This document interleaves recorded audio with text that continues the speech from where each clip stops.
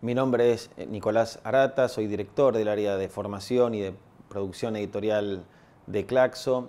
Y en esta oportunidad tenemos el enorme gusto de eh, compartirles una nueva iniciativa del Consejo Latinoamericano y de la Universidad Pedagógica Argentina, que es este repositorio a propósito de los 100 años de la reforma universitaria de Córdoba, 100 textos fundamentales sobre la historia de la, reforma, del movimiento reformista y de la Universidad Latinoamericana, cuya curación estuvo a cargo del profesor Darío Pulfer de la Universidad Pedagógica. En el repositorio que presentamos, eh, los especialistas, docentes y alumnos podrán eh, encontrar material del mismo proceso reformista y de lo que se produjo eh, en las décadas siguientes, tanto documentos, reflexiones, estudios eh, en torno a la reforma y sus itinerarios, no solo en la Argentina, sino también en el resto de América Latina. Consideramos que resulta fundamental reponer estos materiales que resulta difícil conseguir o consultar, tenerlos reunidos, eh, ordenados, eh, repone no solo la base material, sino la posibilidad de entablar un diálogo distinto con los mismos desde las preguntas que hoy nos hacemos. Eh, trabajar sobre material histórico no es eh, visitar algo muerto o yacente, sino eh, acercarse a él con nuevas preguntas. En el material se encontrará la historiografía fundamental, las distintas matrices que interpretaron este, este fenómeno y su recorrido en estos, en estos 100 años y nos abre nuevas perspectivas y nuevos elementos para el debate que la Universidad Latinoamericana necesita en el día de hoy.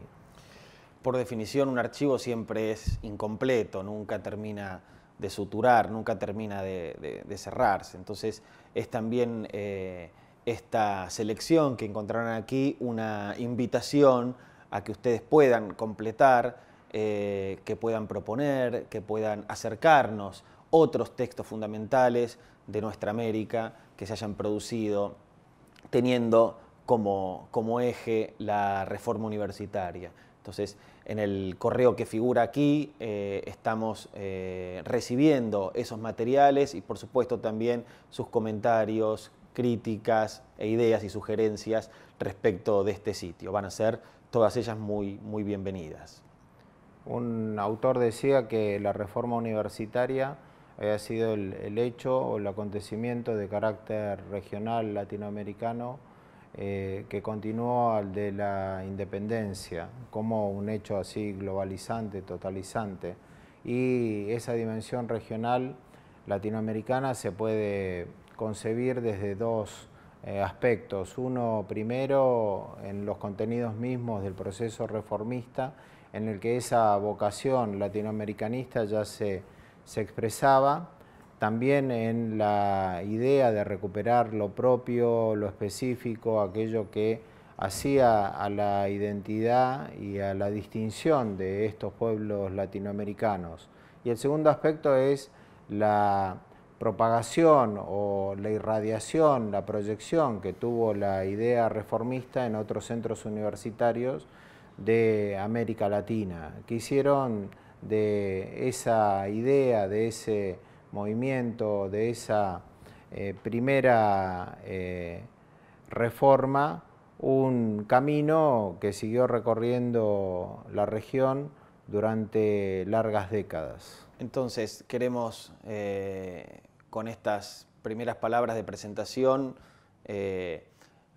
invitarlos a que visiten este archivo, a que lo recorran, a que se reencuentren con algunos trazos de, insisto, los legados más, más interesantes y algunos de los textos más vehementes que ha producido el pensamiento social latinoamericano. como les decíamos eh, en el inicio, una iniciativa conjunta del Consejo Latinoamericano y de la Universidad Pedagógica que tienen eh, como parte de una, vocación eh, también universitaria, pero no solo universitaria, sino también político-cultural, la de difundir estos legados, la de ponerlos a disposición también de nuevas generaciones para que ese encuentro entre el presente y el pasado se produzca y de ese encuentro también sigan resurgiendo nuevas ideas, nuevas preguntas para las reformas universitarias que vendrán.